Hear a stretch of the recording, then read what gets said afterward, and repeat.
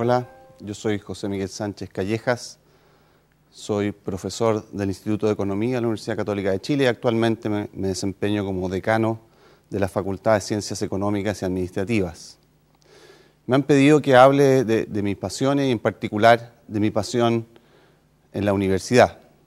Yo tengo muchas pasiones, la principal pasión mía es mi familia, tengo, soy casado hace 31 años, tengo cuatro hijos, dos hombres y dos mujeres, y eso es mi principal pasión. También me gusta mucho el deporte, toda mi vida he practicado deporte, eh, he sido siempre eh, eh, un, practicante del fútbol, ahora cada vez menos desde que tuve una lesión hace algunos años, pero me gusta mucho el tenis y el, running que, lo practico regularmente.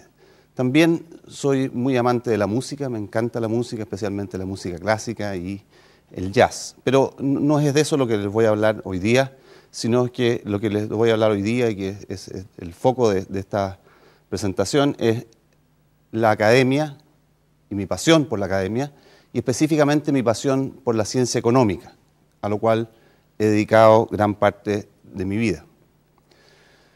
Primero la academia, después vamos a entrar en más detalle con, la economía. Yo siento que, que, la vida académica es un privilegio. Siempre desde que salí de la, de la universidad, que he trabajado en la universidad, en distintas universidades, pero siempre he estado ligado al quehacer universitario y siempre he estado haciendo clases, desde los 21 años que hago clases en el Instituto de Economía y después en el posgrado, después volví, después de que volví el doctorado, seguí haciendo clases en, en, otras universidades y siempre he estado ligado a la vida académica, siempre he estado ligado a la investigación, y a la docencia, que después voy a, hablar un poquito más de eso aplicado a la economía. ¿Y, qué es lo que me atrae a mí de la academia? Y, me ha traído siempre desde, que era estudiante. Pienso que la academia nos da un espacio tremendamente eh, útil y, valioso para hacer reflexión. Y, la reflexión tiene, tiene un, valor enorme porque nos permite intercambiar ideas, nos permite intercambiar opiniones, nos permite dialogar. Y, no solo dialogar, sino que en un diálogo fecundo, porque la discusión y, la interacción de ideas en la academia tiene un objetivo, que es crear, crear saber, crear conocimiento. Y eso sale justamente del diálogo, del intercambio de opiniones, en un ambiente de respeto, en un ambiente de valor, de valorar al otro siempre con sus opiniones, donde lo único que importa es la calidad del argumento, la validez del argumento, la validez de la reflexión, la validez de la sustentación de las ideas. Aquí no cabe la imposición, no cabe la jerarquía, solamente las ideas. Y eso a mí siempre me ha resultado muy atractivo. Pasa también por aprender hacerse buenas preguntas. Yo pienso que una parte importante de lo que nosotros hacemos en academia es más que, dar respuestas, que a veces no son tan buenas o a veces cuesta darlas, lo que, lo que el valor que tiene es hacernos buenas preguntas. ¿Qué es lo que nosotros realmente queremos contestar? ¿Cuál es lo que realmente debemos atacar? ¿Qué es lo que debemos preocuparnos? ¿En qué debemos poner nuestro foco? Después, si nos hemos planteado bien la pregunta, si nos hemos planteado bien el problema, después tratar de, resolverlo es mucho más fácil. El otro aspecto que a mí siempre me, resulta tremendamente atractivo de la vida académica y, que es realmente una parte, creo que fundamental y, apasionante de, lo que nosotros hacemos, es justamente el aprendizaje. Trabajar en la universidad es una oportunidad continua y permanente de aprender. Yo siento todos los días que estoy aprendiendo algo. Eso eh, me imagino que en otras partes será lo mismo, pero en, la universidad eso es muy patente. Todos los días uno está aprendiendo algo eh, distinto, algo nuevo, y, aprende no solo de, leer, de, leer los trabajos, de analizar, de investigar, sino que también del contacto con los demás, del contacto con los colegas, del contacto con los alumnos en la sala de clase, en los pasillos, en la reflexión, en el continuo intercambio de ideas. Todo esto hace que, realmente yo me considere muy afortunado de trabajar en una universidad y como les decía, es lo que he hecho toda mi vida. No solo en la Universidad Católica, yo cuando volví de mi doctorado tuve la oportunidad de trabajar en otras universidades aquí en Chile y siempre, siempre valoré estos mismos aspectos de los lugares en que me ha tocado desempeñarme. Pero yo me he dedicado fundamentalmente a la economía. Toda mi vida me formé como economista en la Universidad Católica. Eh, yo no sabía que quería hacer, no sabía lo que era la economía. Cuando entré a la universidad no sabía lo que era la economía. Yo siempre pensé que, quería estudiar algo con, matemática, pero, pero no era ese el foco. Yo tenía bastante, una beta bastante humanista y no, sabía realmente lo que me quería dedicar. Eh, y pensé que la ingeniería comercial era suficiente, tenía la mezcla adecuada entre economía, eh, entre matemáticas y humanismo, que me parecía que era atractivo.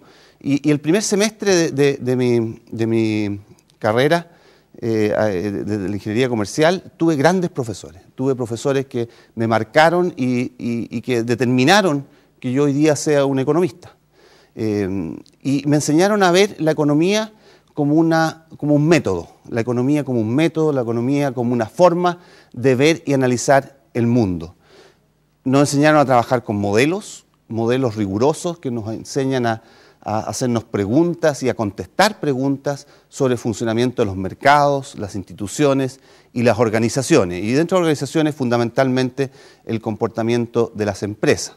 ¿Por qué pensar en modelos es tan importante? Porque pensar en modelos nos obliga a pensar en forma seria respecto a la causalidad de las variables. ¿Qué variables determinan a otras? ¿Cuáles son las variables endógenas? ¿Cuáles son las variables exógenas?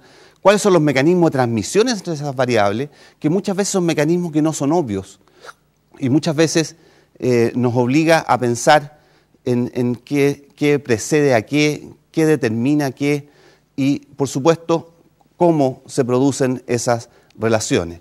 Y la manera, y cuando uno modela esto y lo, pone en un modelo eh, a través de la matemática, la matemática es un lenguaje que nos, sirve para poder modelar esto, escribir estas relaciones, em, nos obliga a ser riguroso en esto, nos obliga a pensar de manera rigurosa y, por supuesto, también nos obliga a pensar de manera rigurosa en cómo se determinan estos modelos, cómo se logran los equilibrios. Nosotros los economistas pensamos en términos de equilibrio. Eso es algo muy, muy particular de la disciplina económica. Eh,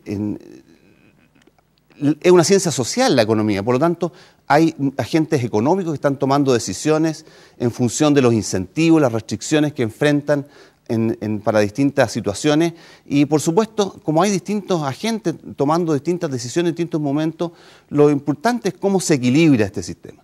Nosotros pensamos en términos de equilibrio y eso es bien distintivo de nuestra profesión y creo que nos hace entender mucho mejor cómo llegamos a las situaciones en que llegamos y por supuesto nos permite también explotar una beta de poder usar esas herramientas, esos modelos que nos proveen que nos provee la ciencia económica para poder después contestar distintos tipos de preguntas. En, eh, mi historia personal, la pasión por la economía, como dije, comienza con los profesores. Ellos despertaron el gusto en mí para hacer investigación y enseñar en economía, por eso me formé como economista en la UCE, después fui a hacer un doctorado afuera y pasé por otras universidades antes de volver a mi casa, que es la Universidad Católica.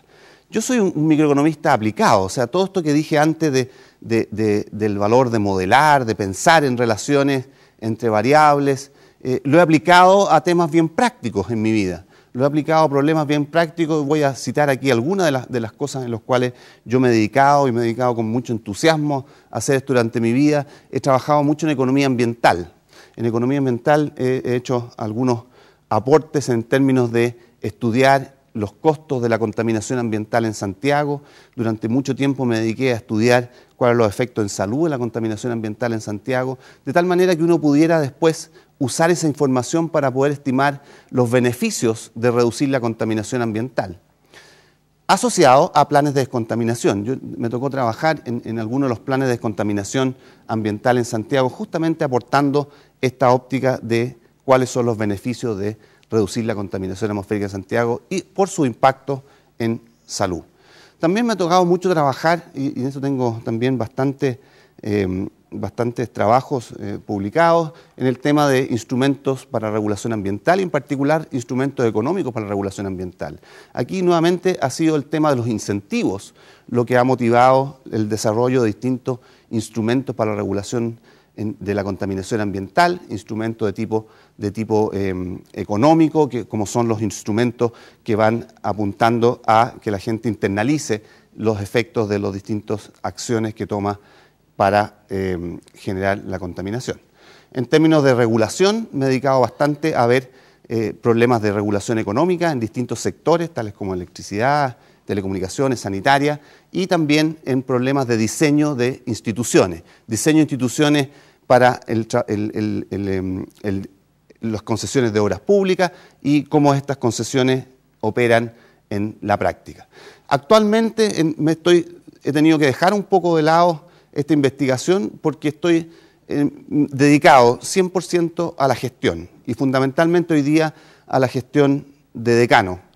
Eh, quiero en mi gestión de decano, y eso estoy dedicado en cuerpo y alma, tener una mejor facultad. La facultad mía es una facultad muy prestigiosa, tiene mucha historia, pero quiero que esa historia y esa, gestión todavía sea mucho mejor. Quiero una facultad más inclusiva, donde las personas, eh, donde formemos profesionales, profesionales íntegros, no solo capaces de manejar muy bien conocimientos, y, habilidades técnicas, sino que también sean personas en todo el sentido de la palabra, personas que, sean capaces de, usar el instrumental que nosotros entregamos para el beneficio de los demás, que siempre estén pensando en, cómo ellos pueden aportar a tener una sociedad mejor, una sociedad más justa, una sociedad más igualitaria y una sociedad donde, donde nosotros nos sintamos parte de ello y, colaborando con las demás personas.